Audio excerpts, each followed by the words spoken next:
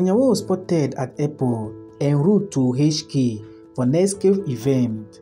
K-pop head troupe Chanyeol was seen arriving at the airport, looking dashing as ever in his black outfit.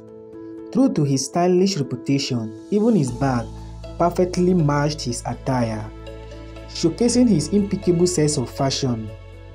Adding a touch of elegance to his overall look was his white nose mask, which not only kept him safe but also add a hint of mystery to his already captivating presence.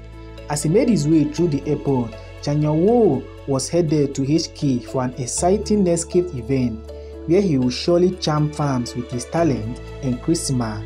Stay tuned for more updates on Chanyeol's adventure and get ready to be swooned by his K-pop sensation